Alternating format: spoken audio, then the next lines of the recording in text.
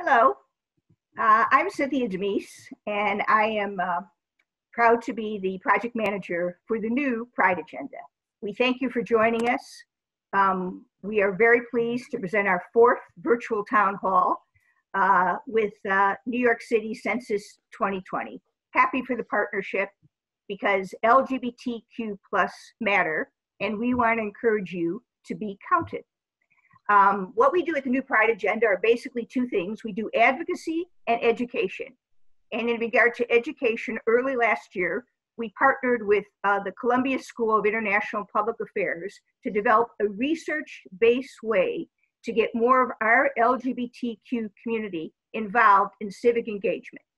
Civic engagement, civic pride, civic work. And this, with Census 2020, is part of our initial effort in that regard. Cecilia?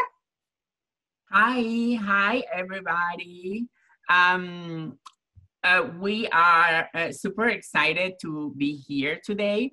And, and as part of the, uh, the New Pride Agenda educational efforts, um, we invite you to see our COVID-19 virtual town hall series. Uh, they're really, really good though. Um, some of them, some of them, uh, oh, um, some of the, sorry, some of them uh, include uh, um, uh, webinars on wellness, homeless youth, sex, and sex workers, my favorite. Uh, visit our uh, site at www.newprideagenda.org. Um, and, and if you like what you see, uh, including today's census um, uh, show, as part of the Giving Tuesday, you can always donate um, consider making a donation to the New Pride Agenda and support the work that we're doing, the work that we have been doing, and the work that we will continue to do. Thank you. Uh, it's my pleasure to introduce Julie Menin. Uh, Julie, as many of you know, is attorney and civic leader for over two decades of leadership in New York City, uh, both in, uh, regarding regulatory, legal work, the public sector, um, she is director of NYC Census and has only two jobs with that, uh, two important roles. One is, of course, to make sure New York City Census receives its fair share of hundreds of billions of dollars uh, from the federal government, and of course, to fight attempts to undercount uh, immigrant and underserved communities. Um, many of you may know Julie as the former uh, community chair of uh, chair board, chair one board board chair, chair of Manhattan Community Board One. There we go. Uh, she's uh, what's the language? Magna cum laude. That's not me, but we're happy to have uh, Julie take it away. Thank you, Julie. Thank you so much, Cynthia, and it's great to be with you. And I really want to thank New Pride Agenda uh, for putting together this important forum. And so thank you, Cynthia. Thank you, Cecilia. Thank you, Ahmed. I also want to acknowledge and thank Council Member Danny Dromm, who I know um, you'll be hearing from shortly. And I want to thank my Deputy Director, Amit Bagga, who will be on the panel. So, I am here to talk to you about the importance of the census. And quite honestly, in this COVID world that we unfortunately are in, it's really a stark reminder about why the census is so important. Because, quite frankly, it's about funding for our hospitals, it's about funding for ventilators, funding for PPE, funding for schools, for affordable housing for transportation, for so many important programs that New Yorkers rely on. Um, and it's also about seats in Congress. So in the mid 1950s, we had a high of 43 members of Congress in New York State. We now have 27 members of Congress in New York State. So you really can see what an undercount can mean. And if we have a real undercount in 2020, we could go down to 25 members of Congress, which again, we lose representation and our voice. Um, so going to the next slide, please. Uh, one of the things that I really wanted to make sure that everyone knows is that the citizenship question is not on the census. So as Cynthia mentioned, I also have a senior role in the New York City Law Department. We were a plaintiff on the case along, of course, with New York Attorney General Tish James and others, and we won that case at the Supreme Court. So that is a good news. The bad news is a lot of the damage that the Trump administration um, wanted to cause with the mere scepter of the citizenship question has been done and that it's caused fear and intimidation. But it, it is not on the census. The census also does not ask about your income or bank information or social security information or anything like that. And um, by law, the census is completely safe and confidential. It's protected. And so we want to make sure people know that. Um, in terms of the LGBTQ community, it's so important to know that for the first time in the 2020 census, couples that are living together are asked to define their relationship to their partners in new ways, so same sex or opposite sex. And so that is something that is new about the census. So we wanted to make sure that we recognize that and the importance of that. And I know Amit will also talk about that in his remarks as well. Um, I want to highlight how we did in 2010. And the reason why I want to highlight that is we didn't do particularly well 10 years ago. We didn't do particularly well. And you can see these numbers on average in New York City. The self response rate to the census was 61.9%. And you can see, for example, Brooklyn at 55.5%. And th- these numbers are obviously incredibly low, particularly compared to the national average of 76%. Quite honestly, if New Yorkers had more New Yorkers had responded in 2010 to the census, we would have been in a much better financial picture in 2020 and certainly with funding for our hospitals. So, how are we doing right now? So, currently, 46.4% of New Yorkers have responded to the census. You can see we're 11 points behind the national average. We're the epicenter of COVID, and that is really having an effect on our numbers. And so, that's why it's so important to do forums like this so we make sure that everyone understand the importance. Um, New Pride Agenda thought it might be helpful if we highlighted a number of key communities. So, I have these numbers up here where you can see um, particular communities. And we're happy to, we'll share this presentation. So if that's helpful, we can do that as well. But just to walk through um, how some of the boroughs are doing, and then you can see the comparison to the New York City number and then to the national number as well. Um, so, what are we in the New York City Census Office doing about this? Well, first of all, before COVID, we launched a community based fund where we're disseminating $19 million to 157 community groups who are really the trusted voice on the ground working in communities historically for many, many years. We also have a field campaign where we've divided the city into 245 neighborhoods and we have local neighborhood organizing census committees that people can join. Third, we have an innovative multilingual uh, messaging campaign, which I'll talk about in a minute. And then fourth, um, we have an in-depth agency and partnership engagement plan. So I'll talk about each of these. So the grant strategies I mentioned, um, we funded 157 community-based organizations that are working in over 80 languages and are basically spanning almost every sector from social services to healthcare to education to arts and culture and much, much more. Obviously, in light of COVID, we've had to clearly suspend all door to door and events based um, organizing, but we are still working with all of our grantees on phone banking, on textathons, on so many different ways that virtually we're able to reach New Yorkers. Um, we did want to highlight a number of our grantees that we're working with in the LGBTQ uh, population. So these are some of the groups that we're working with, and we are so proud to be partnering with. Um, on the field strategy, so as I mentioned, we divided the city into 245 neighborhood organizing census committees. This is a new organizing structure that we devised last year. We have over 6,000 New Yorkers who signed up to volunteer. Before COVID, we held over 500 events in all five boroughs. And in light of COVID, we've had to switch a lot of our organizing to instead do textathons, peer to peer texting, phone banking. So we do a lot of virtual phone banking, which is a great way to reach New Yorkers, particularly that lack access to digital. Our media strategy. So before COVID, we launched an advertising campaign. I had numerous ethnic media roundtables. We were going to be uh, heavily advertising in the subway and buses. Uh, Post COVID, we were able to pull that back, and now we've converted that into more funding um, for TV, for radio, and for digital. And so we have a lot of different campaigns uh, that are running right now. You might have seen some of them. So we launched a campaign with Cardi B. We have one with Alicia Keys that we just launched. And so we've got a number of different influencers who we're working with to really help to spread the word.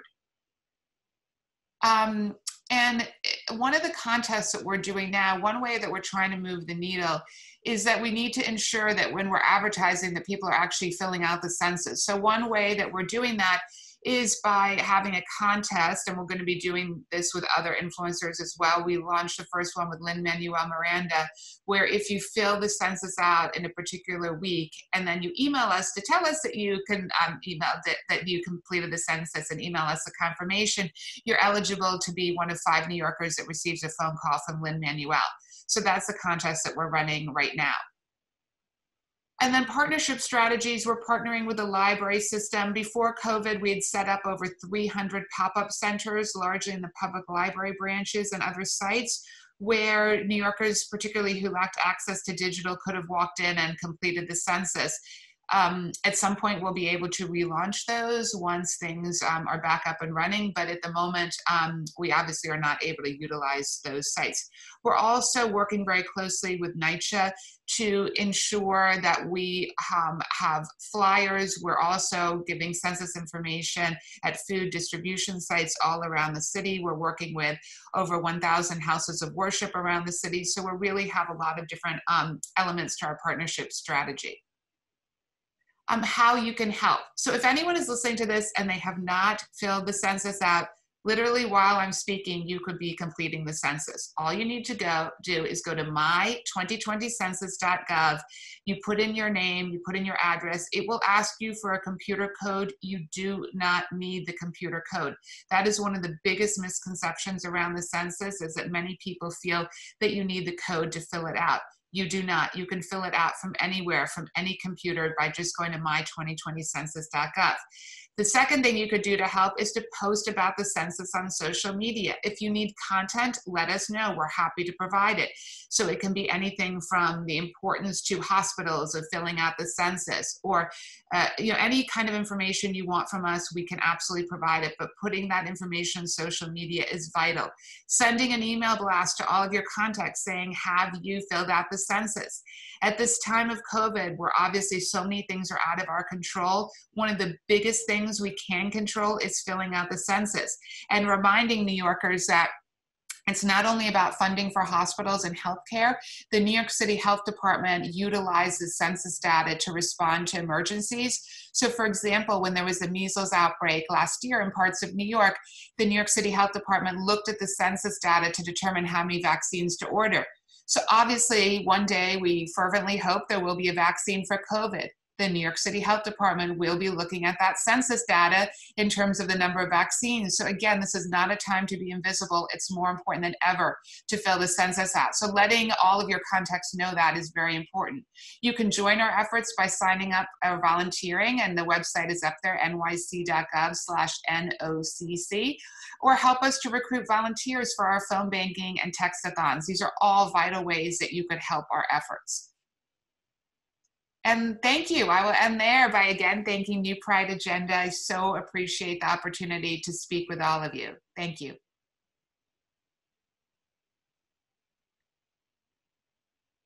Thank you, Julie.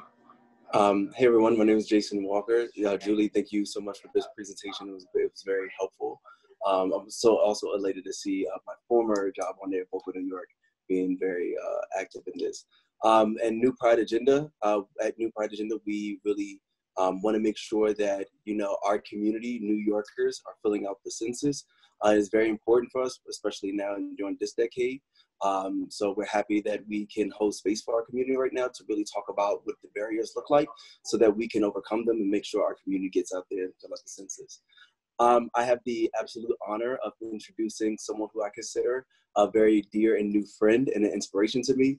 Uh, Ju- I'm sorry, Marti Gold Cummings. I'm gonna give a quick uh, little update, a brief introduction into Marti, whose resume is very extensive and impressive.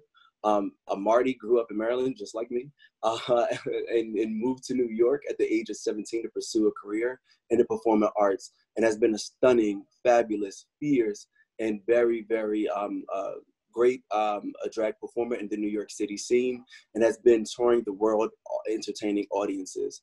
Uh, Marti can be seen on Fusion TV, Shade Queens NYC, and as a regular fix on Bravo TV, um, uh, What's Happening Live. Um, Marti's uh, gift does not just stop at their performance, it also extends into their advocacy and activism. Um, Marti is also the founding president of Hell's Kitchen Democrats and has been appointed um, to community boards within their district and making sure that they can help serve New Yorkers in the best way possible for civic engagement. Um, Marti's uh, excellence also extends further into like how they show up for community and is currently sits on the board of the Ali Forney Center and was a recipient of the Luminary Award uh, for their amazing work in supporting homeless LGBT New York youth who live in New York. Um, so with no uh, further ado, um, I think I said that right. no longer wait no hesitation. Pass it over to Marti. Uh, good morning. Thanks, Jason. It's always so, I'm like, oh my God. I just, yeah. Uh, good morning. Thank you, everybody, for having me. This is such an important um, discussion uh, because our voices do matter, and it is so important that we get counted. But before we start our Q and A, this it it took a lot of ask and a lot of pull to get this guest to make a video, and I don't know how we pulled this off, but we have a special message from a, a wonderful uh, artist. Here we go. Hi everyone, Cummings, and New York City needs us now more than ever. That's why I'm asking you to fill out the 2020 census. When more of us fill out the census, New York gets billions for services we all rely on every day, from education to housing to transportation and yes, even healthcare. If we don't fill out the census, it's like we're invisible. And we've been fighting for visibility too long and too hard to allow that to happen. Now, you know, and I know, and the mayor knows, that gender is a fluid thing. And it makes absolutely no sense that the Census Bureau hasn't caught up yet. It's true. The question about sex has just two answers, but that is not a reason to not fill out the census. If that question doesn't apply to you, you can just move right along. You don't have to answer it. Both you and your response count and are valid. And you don't have to worry about your information being shared with anyone. By law, all responses to the census are 100% confidential and cannot be shared by the Census Bureau with anyone. Not another government agency, not the police, not the city, not even your landlord. The census takes just a few minutes, but it means billions of dollars for New York City's future. Don't leave that cash on the table fill out the census.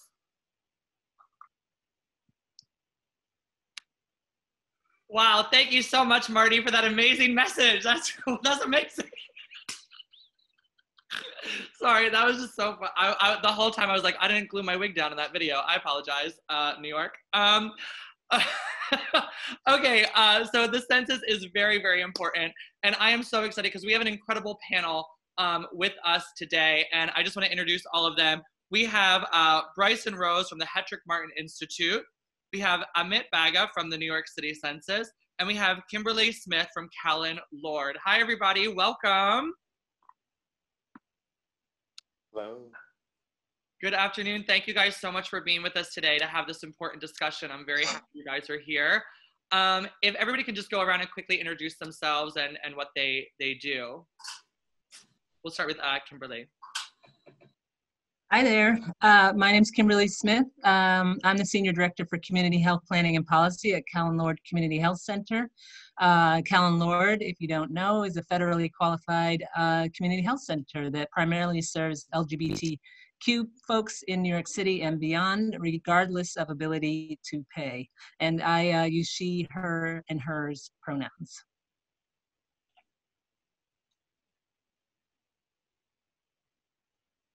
All right, Mr. Rose, we'll go to you next.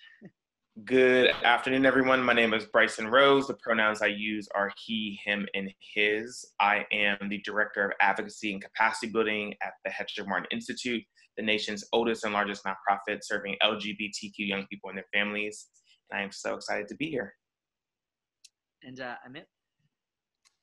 Thank you so much, uh, Marti and New Pride Agenda. Uh, I'm Amit Esbaga. I'm the Deputy Director of NYC Census 2020, which is the Mayor's Census Office. Uh, thrilled to be here today. I use he, him, his, um, and very happy to join a panel um, that's such a distinguished panel.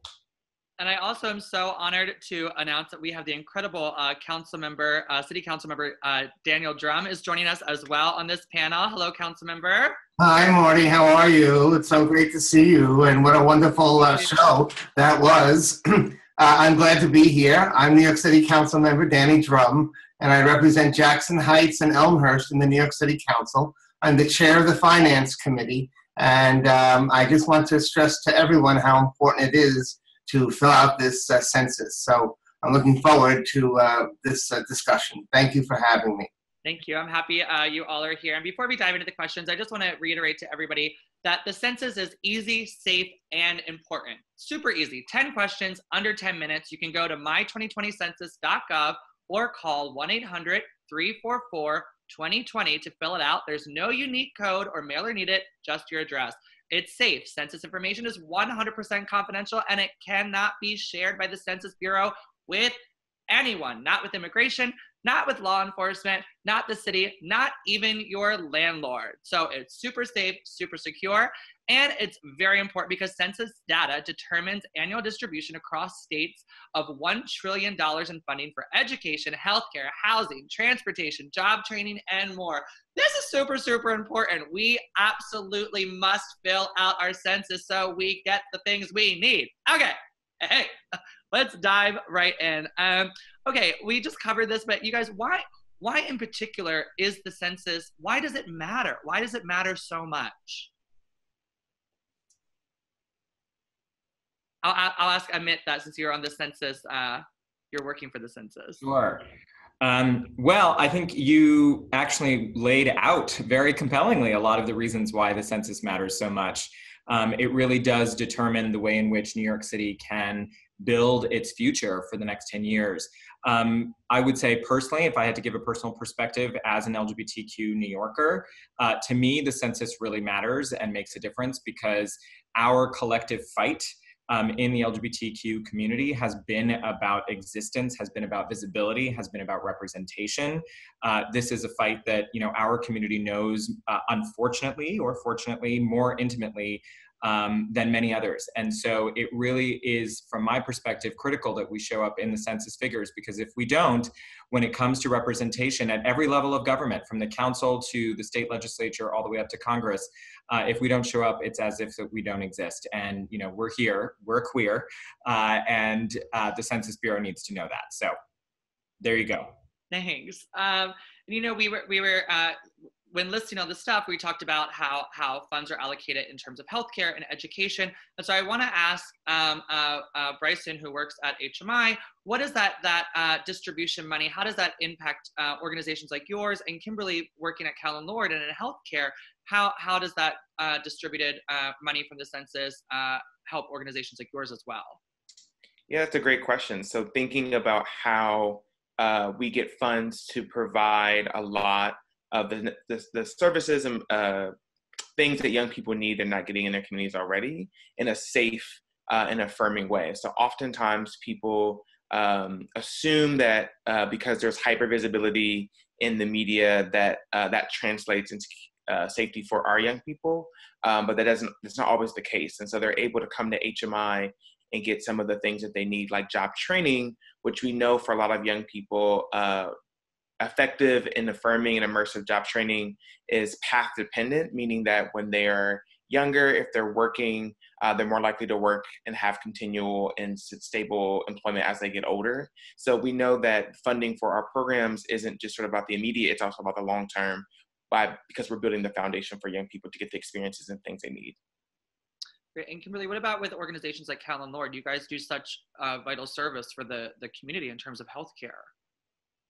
Yeah, thank you. And thanks for having me, uh, New Pride Agenda. Um, I would just add that, you know, we don't often think about the LGBTQ community as relying on uh, social service programs. And in fact, uh, we, our communities rely on social service programs provided by the government, as they should be, disproportionately. And so, for example, Medicaid, 21% of LGBTQ communities rely on Medicaid. Uh, and at, uh, we at Callen Lorde, we serve a range of people regardless of ability to pay, as I mentioned, including those who are use public insurance like uh, like Medicaid. So filling out the census really, um, you know, enables the government to apportion the funding appropriately and make sure that people have what they need. We also, you know, uh, LGBTQ communities uh, use uh, uh, food assistance, SNAP, um, we use federal housing programs and related services. So uh, I think we we you need to kind of put the LGBTQ lens on why it's so important uh, to fill out the census. Um, uh, and you know we are represented, even though we can't kind of uh, the census doesn't allow us to reflect who we feel like we may really be and in terms of our identity. Uh, we obviously are part of all these sectors and use these services. And so it's, uh, it's super important that folks um, complete the sentence. Census, not the sentence.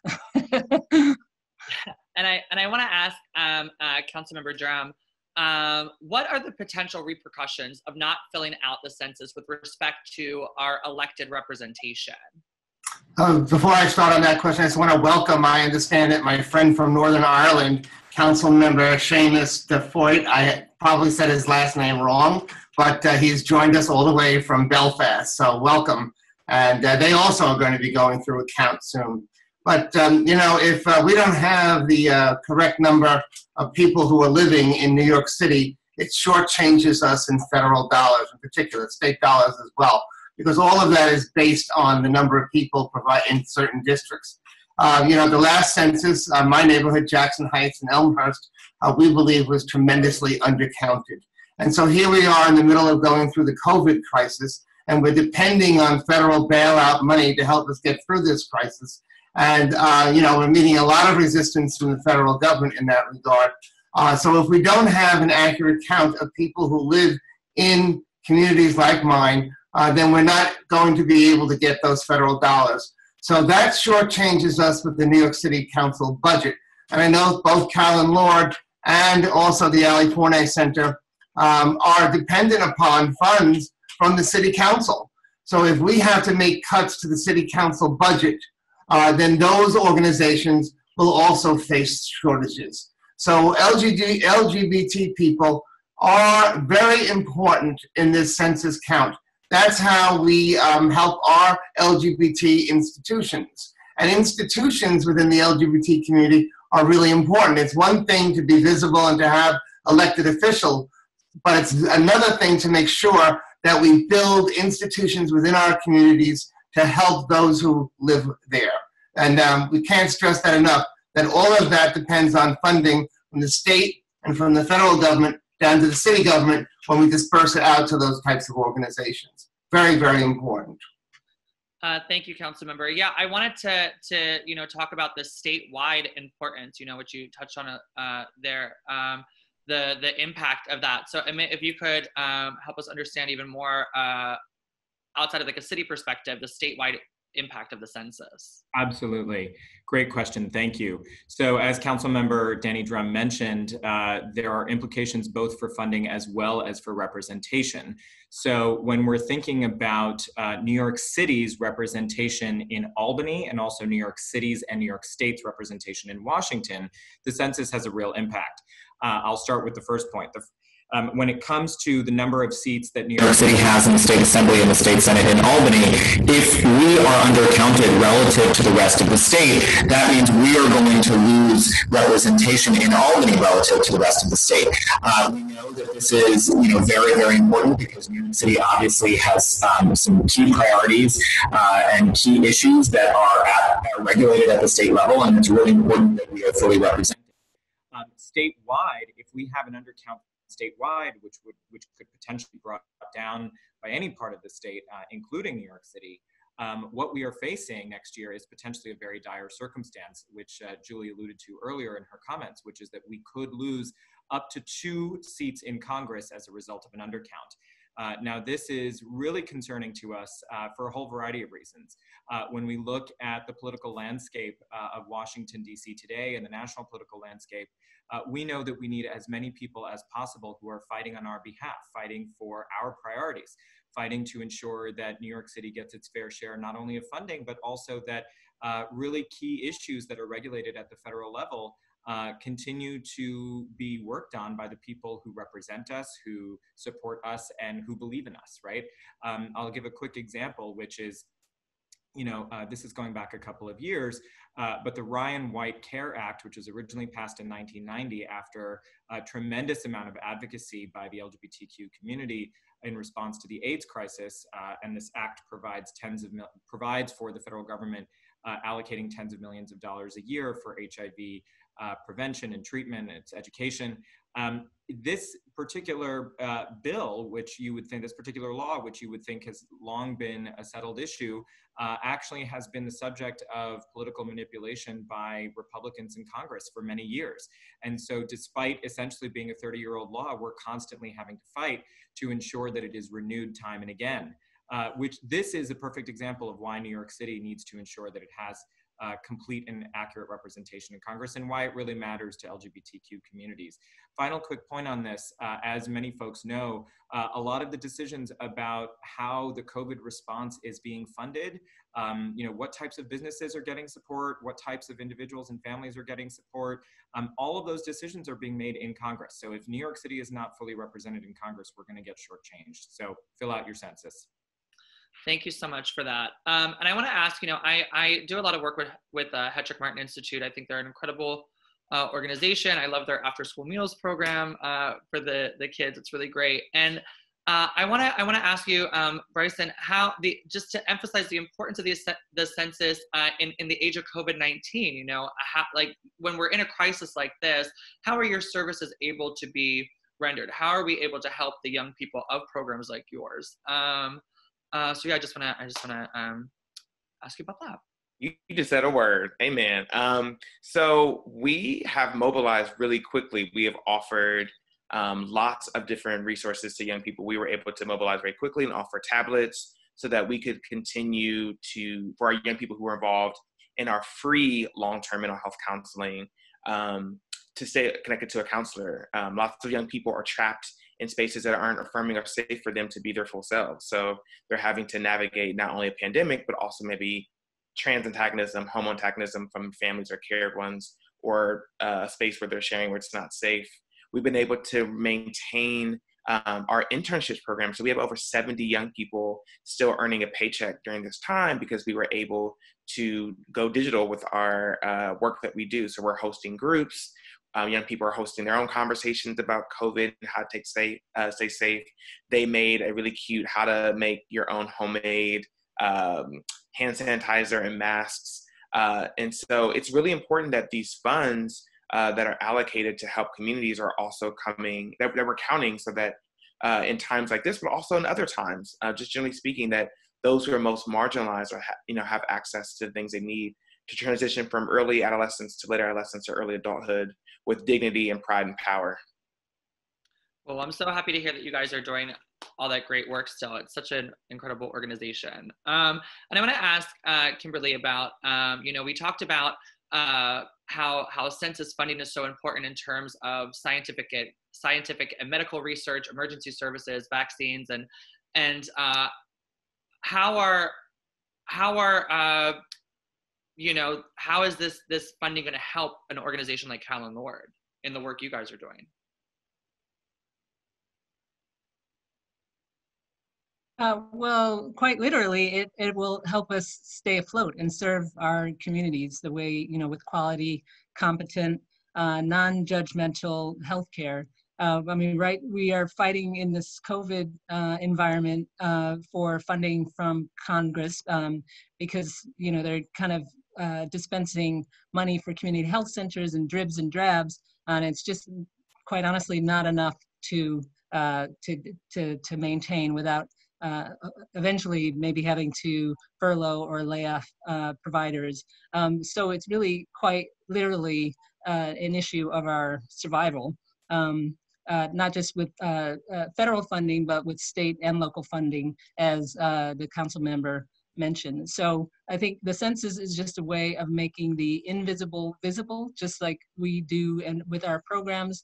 Uh, and it's a way to uh, speak up and out, even though it's not perfect. And I, I want to acknowledge the frustration of, you know, I already filled out my census, and it's it's it is frustrating, you know, that they're they're just two questions around gender identity.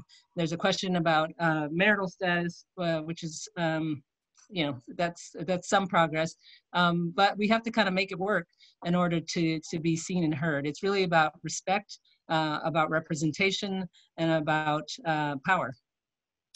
Absolutely. This is, you know, our voices matter. We're a, a huge huge part of the population, so it's so important for us to be um, counted. And I want to ask uh, Councilmember Dromm, you're a veteran in New York City government. You're one of my heroes, and I, I, I look up to you so much. And uh, uh, so thank you for everything you've done in government. And I want to I want to ask, um, uh, can you speak to how much progress, even though it might not be perfect, that we as a community um, have made regarding being seen? Sure. I mean, you know, back in the day when I was um, 17 years old, I never dreamed that we would have a Callen Lorde or a Hetrick Martin Institute. I thought I was the only gay person in the world in those days, you know, and uh, the only thing that I had seen on television was a negative stereotype of who we are as LGBTQ plus people. And so, um, you know, building those institutions, coming out and being visible, and of course, as has been said already, being visible means filling out our census um, application is a part of that being visible is vitally important to the movement. It's been mentioned before as well about the congressional seats, but also state elected seats and city council seats are um, drawn up based on the census. So uh, council seats in particular, I want to talk about because I'm most familiar with that is to they're drawn up and they have to be racially balanced. So if we have, if we don't have people of color and if we don't have LGBT people filling out those census, we're going to get warped districts that are predominantly one way or the other. And so um, having that visibility, although it's not perfect in certain districts, is really important to the future of the city of New York. Um, for example, I believe the next person taking my seat will be a person of color, uh, and that's because of the way that the districts were drawn back in 2012. And now that's going to affect the next group of council members coming into the city council. So um, that's vitally important as well to our community. Sure. Uh, thank you. Uh, and I, I, can you speak to the intersection of immigration and the census? Absolutely. Thank you. Great question. Uh, so as Julie mentioned in her remarks right at the top, there was this protracted conversation around whether or not there would be a citizenship question or an immigration question on the census this year. Uh, you know, we're thrilled to share that through the efforts of the City of New York, along with many other cities and states across the country, uh, and Attorney General Tish James, we were successful in defeating the citizenship question uh, and getting it kicked off the census. We won against the Trump administration at the Supreme Court. But that protracted conversation really did uh, create a lot of confusion and res- has resulted in a tremendous amount of misinformation and disinformation uh, in terms of the citizenship question and the census. To be very clear, there is no citizenship question on the census. There are no questions about immigration. It does not matter what your immigration status is, whether you're documented, undocumented, whether you're a green card holder, whether you are simply here on a tourist visa. Um, you should be participating in the census if you are living in New York City, living in the United States. Uh, the census uh, does not ask these questions. And also, just as a quick reminder, all information provided to the Census Bureau is completely confidential. It's protected by one of the strongest federal privacy laws in the books, Title 13. The penalty for breaking this law is $250,000 and five years in jail. So there's a real incentive for Census Bureau employees to comply with this law. Uh, since this law was passed in the early 1950s, it's never been broken. So, you know, we really want to get that message out there and we really want to emphasize um, it really does not matter what your status is. Uh, you, the census is for you, uh, and the census is completely safe to participate in. And, and one final quick point on this, um, you know, I think oftentimes the conversation around LGBTQ issues or LGBTQ identity challenges uh, and immigration is not one that is at the forefront of uh, our collective consciousness. And it is something I want to raise just to say that there are millions of people in the United States who are LGBTQ immigrants, um, and they face a whole variety of specific challenges. You know, we talk about intersectionality. When you layer onto that, uh, potentially being someone who is undocumented or having uh, a status that is not permanent, um, it really creates a very distinct uh, vulnerability for those individuals. And so, you know, we are we are particularly mindful in sharing with LGBTQ immigrants. Uh, the census is absolutely safe, and it is for you, and it is your way to be seen, heard, uh, and represented. Awesome, thank you so much. And before we uh, uh, before you wrap this um, part of the the Q and A up, I just want to know: Are there any uh, last minute comments from from any of you uh, about the census or the the work you're doing? Kimberly. Yeah, I just wanted to um, plug my friends, our friends at APICHA, who are working uh, hard to help people uh, fill out the, the census. Um, and so APICHA actually uh, will help you literally fill out the form. Um, and you can call them if you have any questions about the census or if you need help completing the form uh, at 1 866 274 2429. That's 1 866 274 2429. Um, so I just wanted to make sure we plug. We work a lot with that APICHA. We love APICHA, and I want to make sure they they got a little plug there. Awesome, thank you. Um, anybody else, uh, final last minute comments? Cool. All right, I just want to say uh, thank you so much um, to our incredible uh, panelists who are here today. Thank you, Bryson Rose from Hetrick Martin Institute, uh, Kimberly Smith from Callen Lorde, Amit Bagga uh, from the Census, and Danny Dromm, uh, one of our incredible uh, City Council members in New York. And thank you to the New Pride Agenda for putting this on. And I just also, um, like somebody uh, mentioned earlier, if you were financially able to contribute to organizations like the New Pride Agenda or Callen Lorde or the Hetrick Martin Institute, it is so important that we help these organizations who really, in a time of crisis like we're going through now, need our help now more than ever. Our, our LGBTQ community um, uh, needs support through this. So, in addition to taking the census, if you're able to give a dollar uh, to these groups, please do. And um, thank you guys so much uh, for, for being a part of this. And I want to now uh, welcome uh, Ahmed Mohammed uh, to, to take it away. Thank you, Marti. Thank you, panelists, for that great discussion. Um, my name is Ahmed Mohammed, as Marti just said, a community organizer with the New Pride Agenda. Before we go to closing remarks, we made this cute little PSA video as a board and staff, and I'd like to share that with you guys. Um, so here goes nothing. Hi, I'm Cynthia Demise, the project manager of the New Pride Agenda. And in honor of our partnership with Census 2020, we thought we'd ask a few board members and staff to fill out the 12 survey questions. Okay, I'm starting with question number one. Question number one how many people are living or staying in this house, apartment, or mobile home as of April 1, 2020? Mama, it's 2020. Don't use the typewriter. The census is online. I finally started to fill out my census form, finally getting around to it. And I'm on like the second question and they want to know if there are any additional people who live in my apartment. Now, there are no other people who live in my apartment, but I live with my most adorable cat. How adorable could a kitty cat be?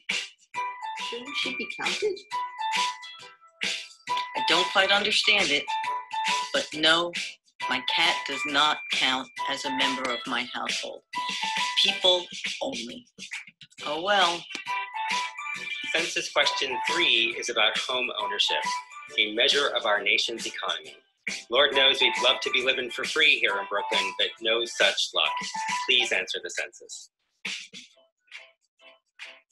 So, Jason, what are you doing? You know, just sitting here filling out the census, doing my civic duty. Oh, what question are you on? Well, I'm on question number four, which happens to be my favorite number and often most asked question. What's my phone number? Hi, I'm Doug Worth, member of the New Pride Agenda's Board of Directors.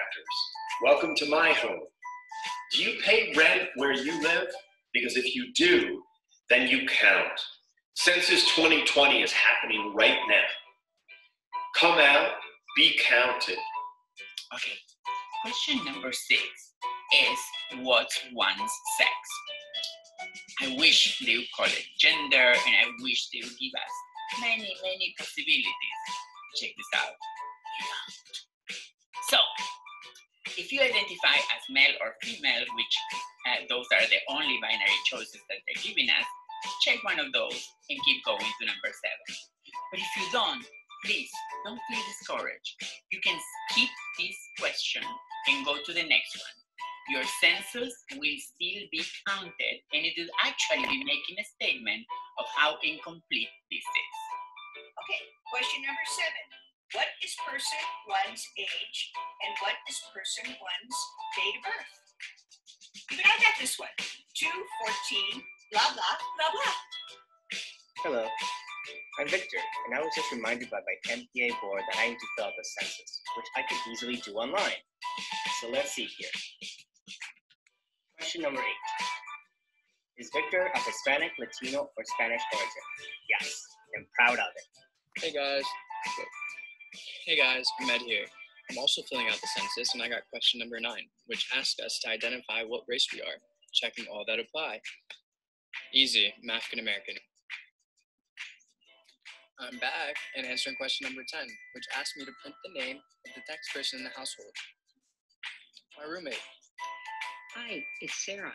I'm at my house in the east end of.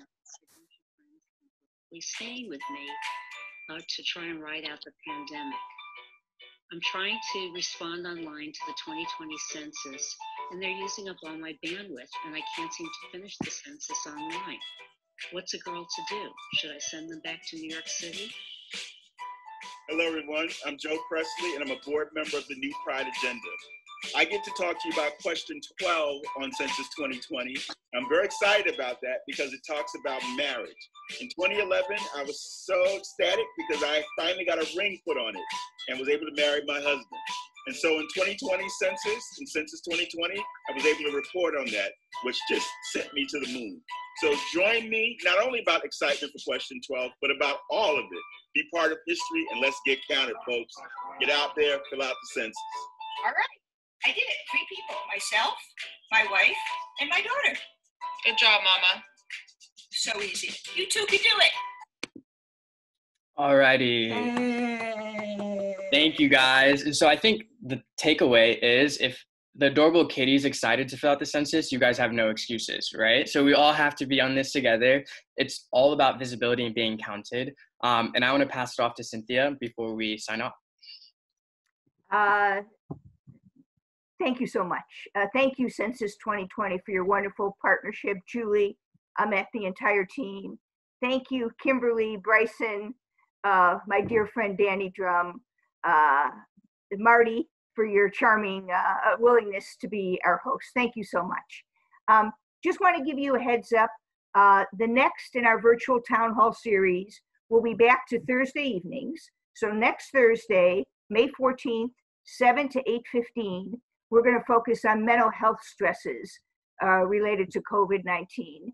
We have uh, Kelsey Louie from GMHC being our host facilitator and a, a wonderful panelist.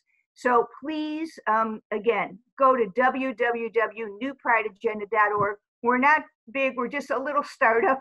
We appreciate you. We appreciate any input and comments you have. Um, and um, we're, we're working here for you. Cecilia. Yes, I'm, I'm so excited for the next one. I think that, you know, with all this COVID-19 situation, you know, many of us are really going through a hard time with our mental health. So it's something that is going to be very good to just um, take a part on so we can all um, kind of learn what is our best, best practices to go through this uh, challenging time. So don't forget to uh, chime in in the, in the next one, which is March 14 at 7 p.m. And most importantly, do not forget to fill out the census. I'm telling you, it was super, super simple.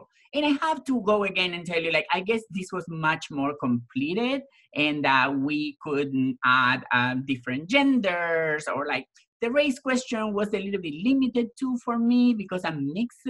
So, but anyways, I just push through and finish it because I want to make myself counted. Because I know that when I make myself counted, the city gets more money, the state gets more money, and God knows we need it. So please don't forget to fill out the census. LGBTQ matters. Stand up and be counted. On behalf of the new Pride agenda, we're really going to thank you for being here today. Thank you to all our panelists. Thank you to you, especially, for being here, taking part of this census and uh, town hall and, and meeting. And um, just don't stop. We, we have so much to do. And if you have time and you have a coin, drop it. Drop it to Callen Lorde. Drop it to Hetrick Martin. Uh, drop it to the New Pride Agenda. So only if you have it though. If you don't have it, drop a coin. We all need it. So thank you so much. And please stay safe, stay healthy, and have a great day. Bye.